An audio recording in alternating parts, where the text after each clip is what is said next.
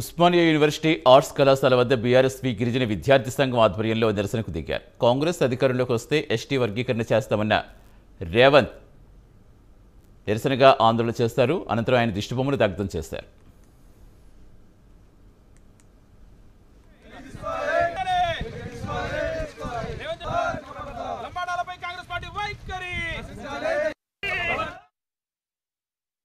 రేవంత్ రెడ్డి నువ్వు ఒక ప్రదేశ్ కాంగ్రెస్ కమిటీ అధ్యక్షుడిగా ఉండి ఈరోజు నువ్వు బంజారాలను ఈ లంబాడాలను కించపరుస్తూ ఎస్టీ రిజర్వేషన్ను ఎస్టీ వర్గాన్ని మీరు విభజించాలని వర్గీకరణ చేయాలని మీరు నిన్న బిఎస్ వి సిక్స్ మీడియా సందర్భంగా మీరు మాట్లాడడం సిగ్గుచేటు అత్యంత దారుణమని ఈరోజు మా బంజారా సమాజం తెలంగాణ లంబాడాలు ఏకఖండంతో మిమ్మల్ని ఖండిస్తున్నారు.